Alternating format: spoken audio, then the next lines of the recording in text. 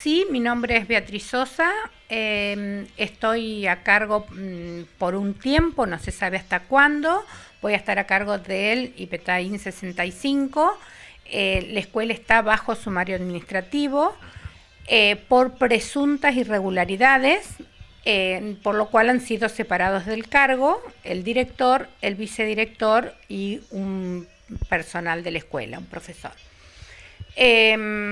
Digo presunto porque están bajo sumario administrativo y se está trabajando. No se está culpando a nadie. Eh, hay presunciones, hay, a ver, cosas que se han comprobado administrativamente que no están este, en forma correcta. Entonces es como para normalizar la tarea de eh, la dirección desde la dirección de la escuela. Yo pertenezco em, a la inspección de la zona 13. Eh, se tomó la determinación de tomar una persona que no tuviera, no sea parte de la escuela para poder hacer un trabajo sin este, ninguna visión ya pre... Eh, claro, para ser mucho más parcial. Y bueno, mi trabajo es, mm, siguiendo las directivas del ministerio, eh, la de normalizar, como les decía, eh, tanto en lo administrativo, en lo pedagógico, en todas las dimensiones eh, que se trabajan en una escuela. Eh, los profesores removidos han sido designados a ocupar su función en otro lugar hasta tanto se aclare y no se sabe por el tiempo que estaré yo o que estarán ellos apartados de su cargo. Puede que vuelvan en breve si se demuestra que no hay culpabilidad o pueden que esa parte ya depende de la parte del ministerio jurídica. Eh, yo tengo a cargo normalizar y bueno, tratar de ir acomodando en cuestión horarios, la parte pedagógica, eh, todo lo que hace lo, referente a la escuela, digamos. Eh, licenciada, bueno, esto, ¿usted cree que esto puede haber sido alguna, em, em, a ver, un relevamiento interno que se haya hecho desde el Ministerio de Educación desde hace años? Se trabaja muchísimo con eh, las denuncias de, ciudadanos, fueron lo que em, lo más fuerte que tuvo, había muchas denuncias, entonces se empieza a hacer una investigación desde arriba, primero sin contacto con la escuela. el ministerio hoy tiene un sistema que em, al estar todo informatizado, ellos de allá eh, con una computadora saben em, cantidad de alumnos, cantidad de docentes, las actividades que se realizan pero hubo denuncias que ellos tienen en la mano de ciudadanos, la mayoría son anónimas, o sea que tampoco se sabe si es de adentro de la escuela, fueron muy finas y puntuales. Eh, desde inspección se vino, se trabajó con eso, se vio y se comprobó varias de eh, las denuncias de lo que se decía. Mientras tanto se sigue trabajando, por hoy son esas personas, puede que haya más, como puede que ellos vuelvan, eso ya no corresponde a nosotros ni a mí.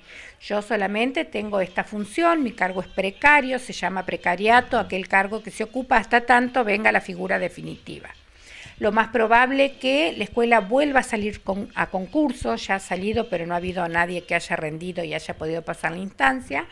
Eh, una vez que esté un poco normalizada, la escuela sale a concurso y va a estar abierta para todo el docente que quiera y esté en condiciones de concursar, para tener un docente titular en el cargo del director. Hoy trabajamos así. Em, bueno, por supuesto que no es fácil, en la escuela o en todas las instituciones están en crisis y a veces pedimos que se normalice, pero no es tan fácil llegado el momento porque la gente es conocida, porque no es fácil alguien que es sancionado mm, hasta que demuestre o que sea culpable o no pero eh, bueno, yo acato esas órdenes, no tengo ningún problema con las personas apartadas, si bien las conocía porque trabajé en la inspección, hoy eh, tengo excelente relación. Em, las puertas de la escuela están abiertas para aquellos que tengan cualquier tema para, para trabajar, para tratar, eh, padres, alumnos, eh, los medios. Eh, ya he tenido contacto con, gente como el, el, señor jefe de gobierno a cargo de la Intendencia, porque vamos a necesitar de todos. lo que vamos a intentar es que la escuela sea lo que debe ser y este, lo que ha sido. Eh, usted me dice que ha tenido hijos, que tiene hijos. Eh, acá hay docentes que tienen mucha nostalgia porque han sido alumnos, porque han venido sus hijos, porque y la escuela se notaba, es muy marcada la crisis que tiene. Em, no va a ser fácil la tarea, tampoco va a ser imposible. Todos están este, invitados a sumarse porque sabemos que una sola persona no lo puede hacer. Con el acompañamiento de todos creo que, que se va a poder, de a poco, a paso lento pero firme este, trabajar con alumnos, con padres, con docentes, con la comunidad, para poder insertarla en el medio como cualquier otra escuela. Eh, yo sé que va a venir el Ministerio de Educación para hablar un poquito más eh, profundamente sobre el tema, pero se me ocurren dos preguntas. Usted me decía recién que va al supermercado, la gente habla, yo fui ayer a la cancha y habla, y uno va a un lugar y habla. Eh, dicen, la escuela se va a cerrar. ¿Le damos tranquilidad a la familia? Sí, de ninguna manera la escuela se va a cerrar. Eh, la escuela tiene una matrícula importante, solo hay irregularidades que vamos a tratar de corregir. El personal del Ministerio de Educación va a venir para hacer trabajo con los alumnos y va a ser invitada a la prensa a una conferencia. Yo solo les adelanto eso para que sea una voz oficial. Están apartados de su cargo por irregularidades, director, vicedirector y un personal y este, la escuela está bajo sumario y se está trabajando. Es como lo que se llamaba una intervención. La escuela está intervenida, se siguen evaluando, se siguen viendo distintos actores y este, tratemos que eh, sea hasta ahí nomás las figuras que están apartadas para poder seguir trabajando. Y por último, ¿con qué se ha encontrado hace poquito día que está? Sí, yo tomé posesión del, cargo el 5 de, junio y bueno, sí, se ven irregularidades, este, hay en los cursos, hay alumnos que están en situaciones irregulares, hay docentes que están en situaciones irregularidad, irregulares. Em, no hay, un, no hay este, una organización desde lo administrativo ni desde lo pedagógico que sea como corresponde.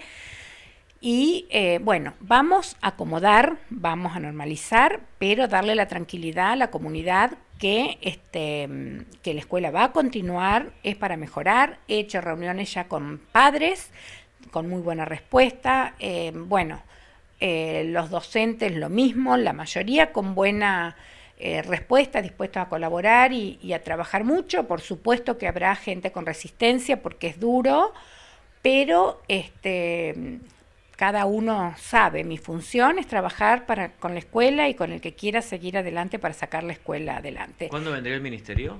No, no está confirmada la fecha, yo hasta ayer domingo estuve pasando informe de lo que me van pidiendo, las cosas puntuales que ellos van viendo.